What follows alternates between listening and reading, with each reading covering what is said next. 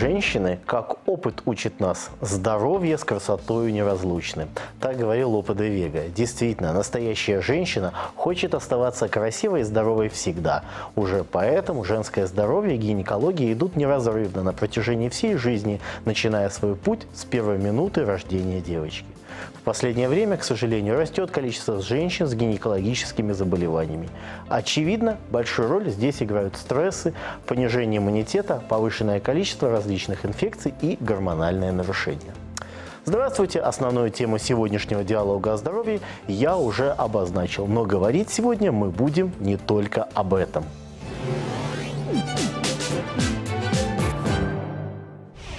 Простые вопросы о здоровье. А как лучше тренироваться?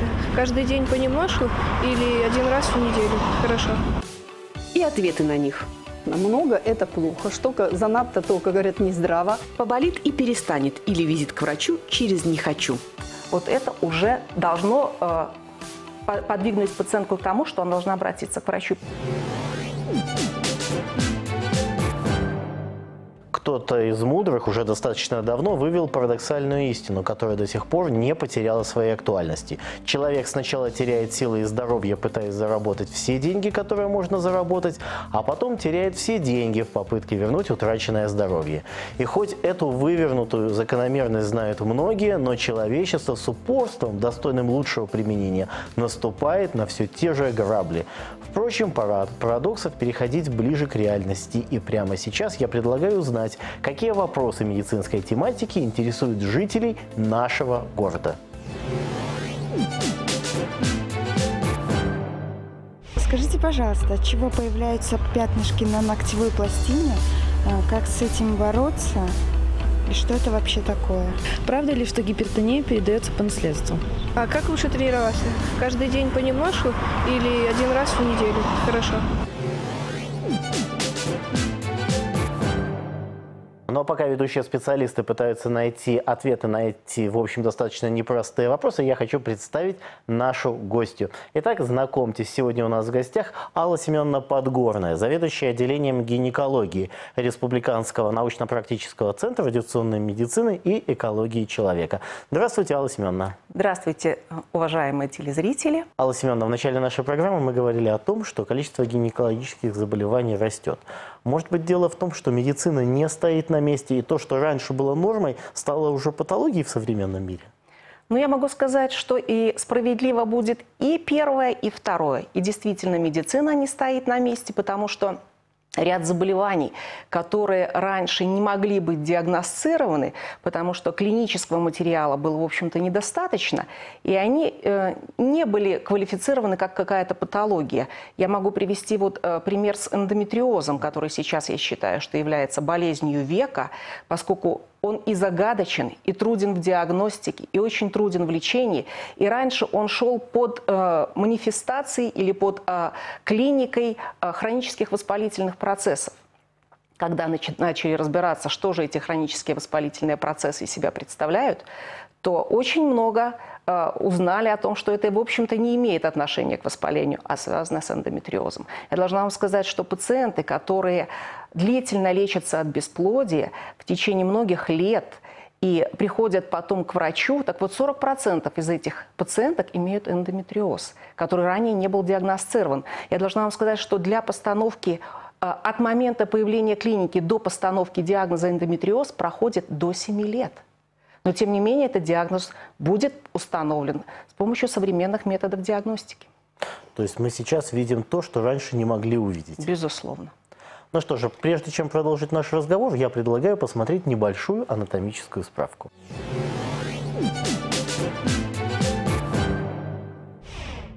Репродуктивная система женщины состоит из органов, расположенных преимущественно в тазовой области. Она состоит из нескольких основных составляющих – влагалища, яичников, маточных труб и, собственно, матки, в которой развивается зародыш. После того, как девочка появилась на свет, речи о сформированной репродуктивной системе идти не может. Эти органы просто есть у нее в организме, они заложены, но до полноценного выполнения своей самой главной материнской функции еще далеко. Кстати, согласно определению Всемирной организации здравоохранения, населения. Детородный возраст женщины определяется промежутком от 15 до 49 лет, но все же наиболее благоприятным для рождения первого ребенка считается возраст от 20 до 30 лет.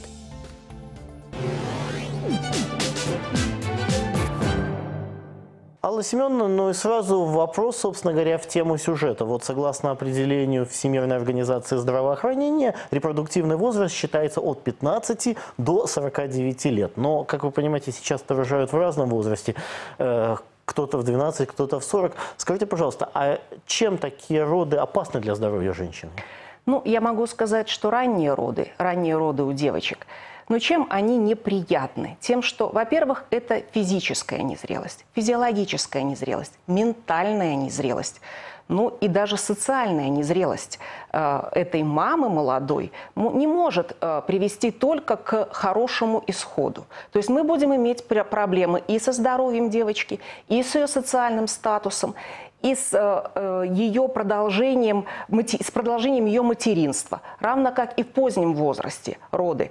А, с течением времени, к сожалению, наши пациентки накапливают ряд заболеваний с которыми э, роды становятся и беременность достаточно сложными и проблематичными. Лучше всего делать все вовремя. Тогда мы можем избежать крупных проблем. Ну, э, в последнее время говорят о том, что гинекология носит такой, знаете, профилактический характер. Безусловно, как и вся медицина. А, как вот лично вы оцениваете? В последнее время появились э, прививки против вируса папилломы человека. Надо ли их делать и насколько они эффективны? Ну, возможно, мы еще придем к тому, что э, выполнение прививок против э, папилломовирусной инфекции будет таким же обязательным мероприятием, как БЦЖ э. Но пока это сейчас у нас на добровольной основе. Этот, эта прививка у нас существует в двух формах на территории Республики Беларусь. Это бивалентная вакцина, то есть против двух вирусов, и квадривалентная вакцина.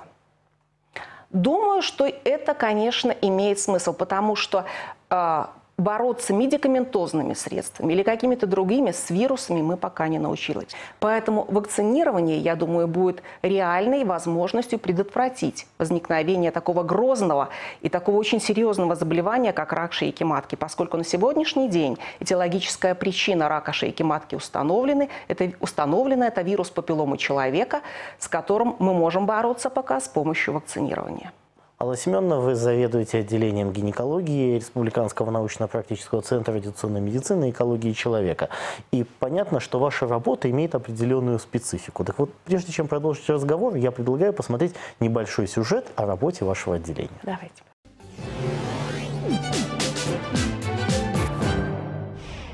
Женское здоровье – сложная система, в которой постоянно что-то меняется. И этот изменчивый механизм нуждается в постоянном контроле, поддержании его работоспособности на максимальном уровне и, конечно же, в оказании необходимой помощи в случае возникновения любых проблем. Всеми этими вопросами занимается гинекологическое отделение Республиканского научно-практического центра радиационной медицины и экологии человека. Первых пациенток отделение приняло в феврале 2004 года. И вот уже на протяжении более чем 10 лет отделение специализируется на лечении достаточно серьезных патологий женского здоровья.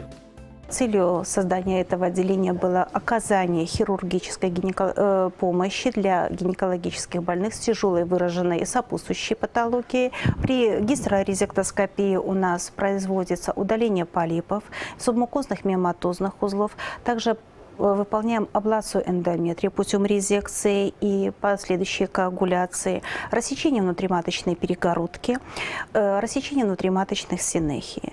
Лапароскопическим доступом у нас выполняются операции на придатках, удаление миоматозных узлов, удаление э, матки, как субтотальная, так и, гистер, и тотальная гистерэктомия, а также э, промонтофиксация э, лапароскопическим доступом у пациентов с пролапсом гениталии.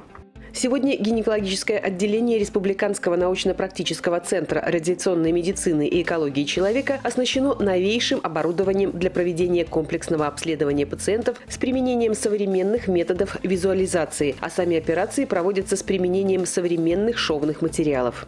Учитывая малоинвазивную хирургию, пациенты находятся у нас э, в среднем 5 койко-дней. Ежедневно идет поступление 10 больных учитывая то, что рассчитано отделение у нас на 30 коек. В отделении работают врачи, имеющие все высшую квалификационную категорию и владеющие э, всеми оперативными вмешательствами.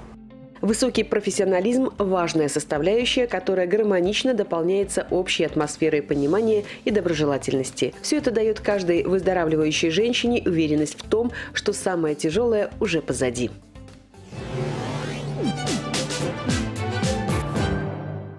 Алла Семеновна, но из сюжета понятно, что, в общем, ваше отделение занимается решением целого спектра разнообразных гинекологических проблем. Но давайте поговорим о более узкой, так сказать, теме. А, понятно, что каждая девочка, каждая девушка, каждая женщина в течение своей жизни э, регулярно, ежемесячно встречается с определенным явлением, которое деликатно называется критическими днями. Скажите, пожалуйста, какова продолжительность нормальной менструации? И немаловажный вопрос, а, когда нужно обращаться к врачу? Это очень важный вопрос, потому что я должна вам сказать, что не все пациенты или не все женщины знают о том, какова должна быть менструация, какова должна быть продолжительность, частота.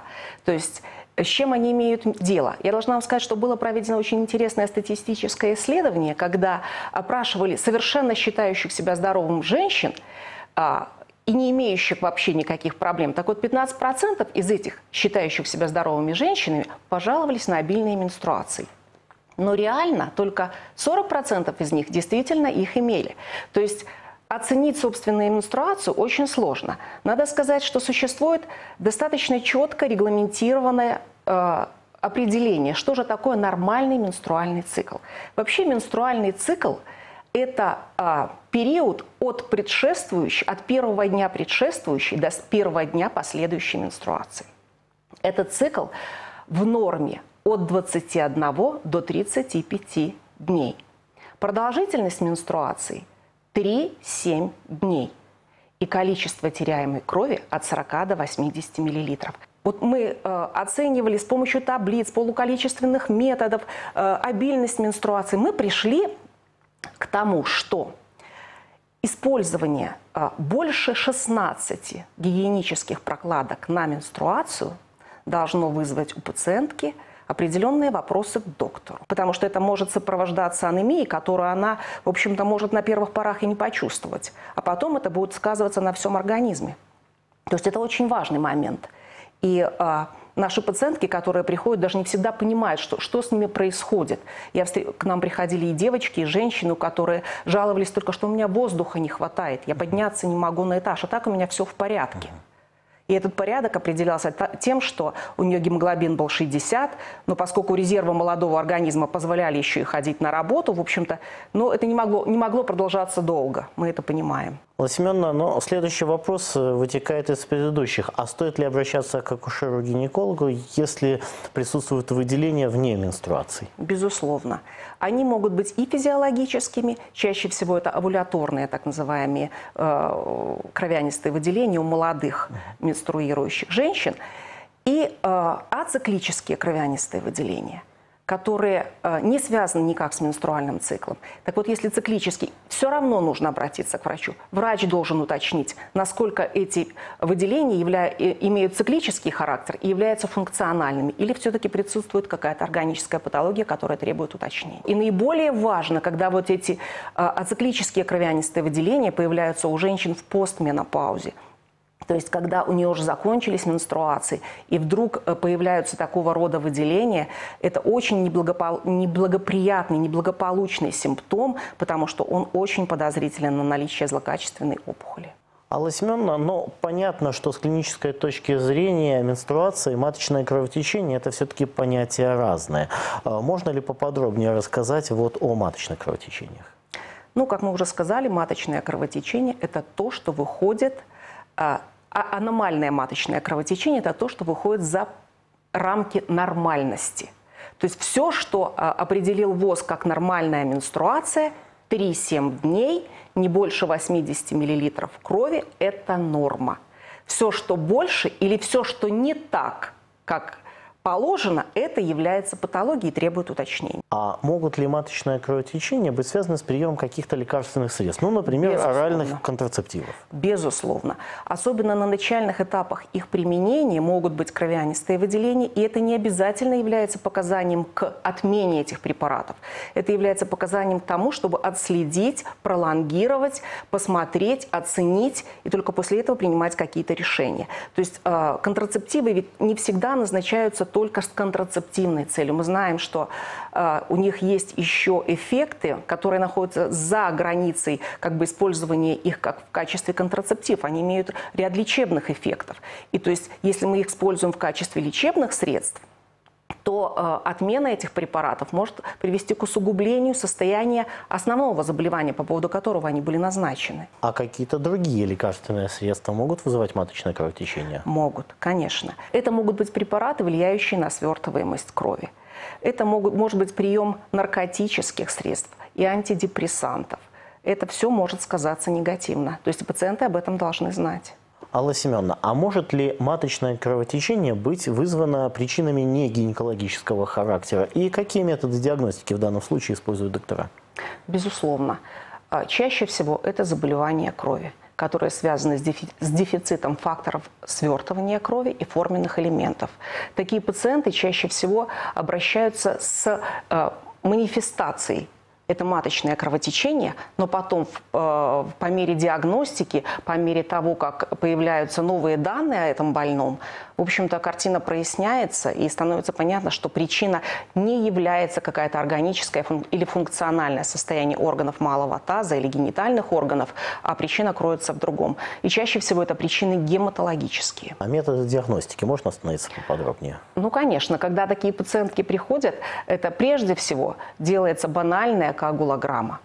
То есть мы должны посмотреть, глобальные тесты свертывания крови, а также посмотреть форменные элементы, насколько они функциональны. Чаще всего это тромбоцитопении и тромбоцитопатии. То есть даже если форменных элементов достаточно, они имеют какую-то патологическую, а, они имеют патологию, которая не дает им возможности работать так, как нормальные тромбоциты.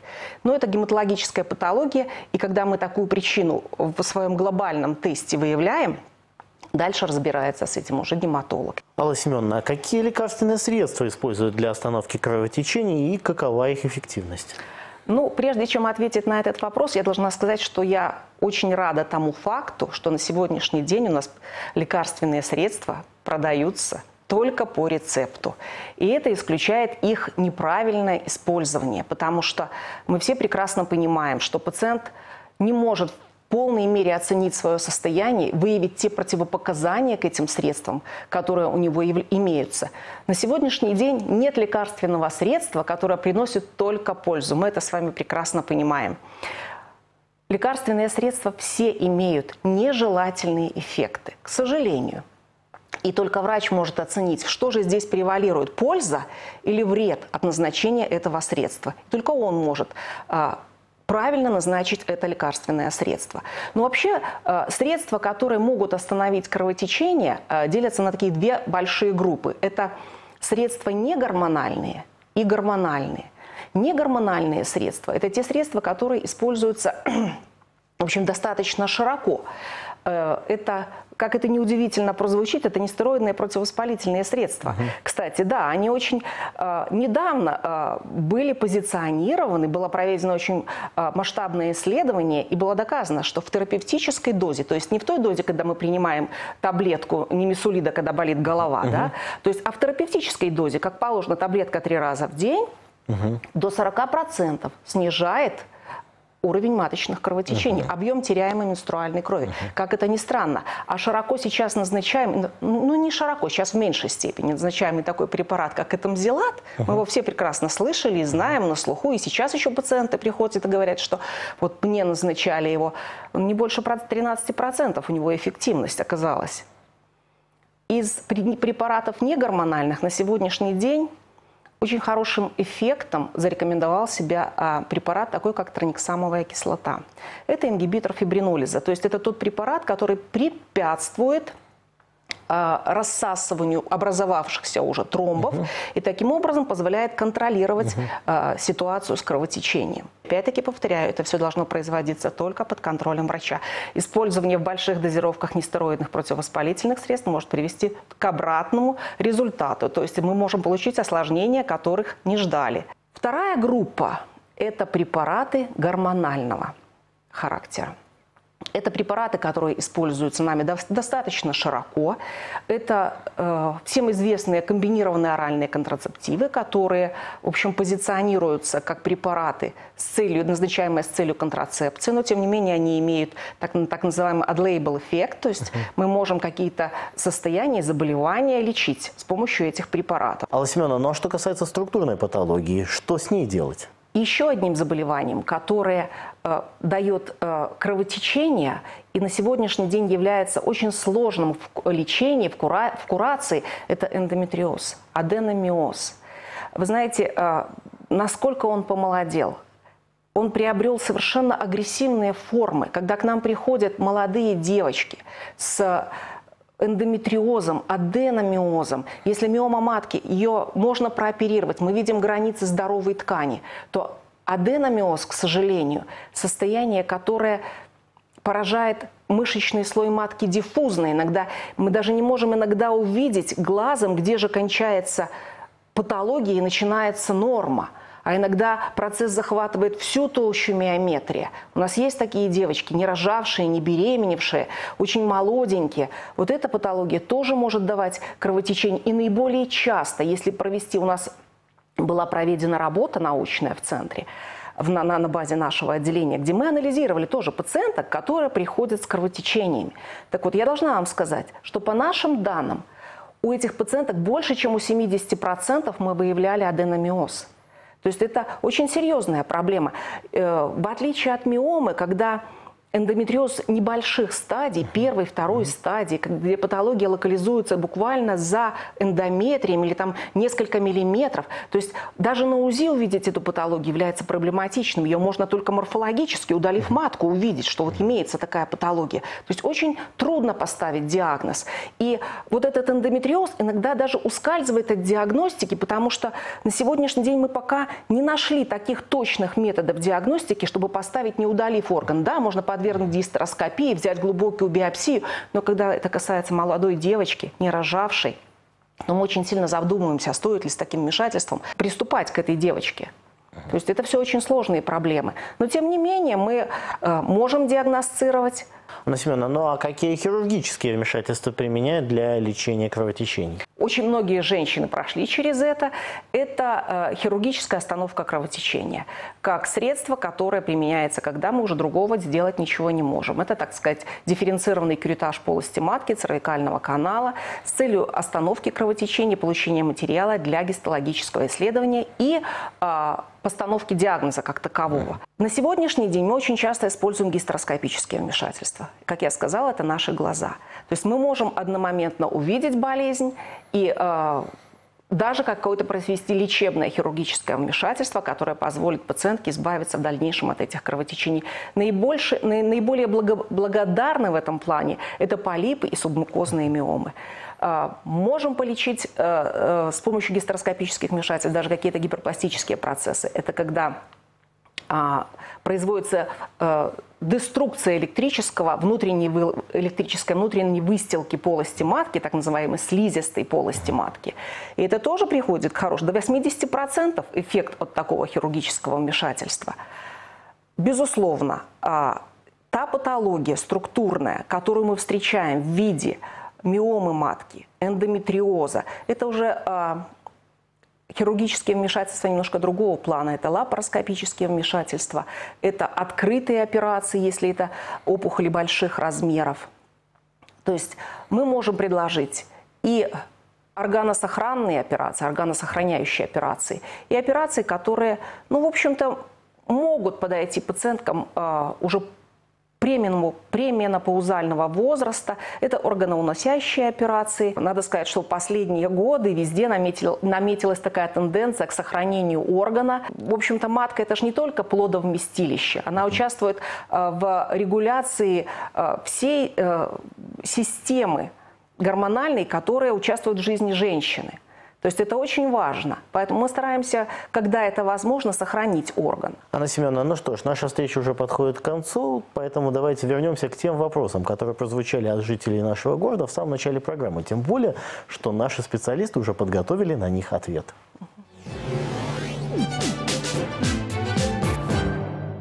Скажите, пожалуйста, от чего появляются пятнышки на ногтевой пластине? Э, Как с этим бороться?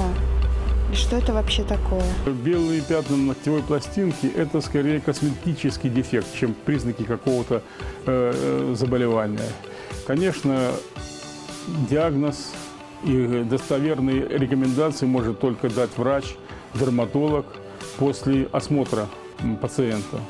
Ну а если говорить э, чисто теоретически, это может быть попасть в пузырьки воздуха в ногтевую пластинку в тот момент, когда она отрастает. Это может связано с какими-то обменными дистрофическими процессами.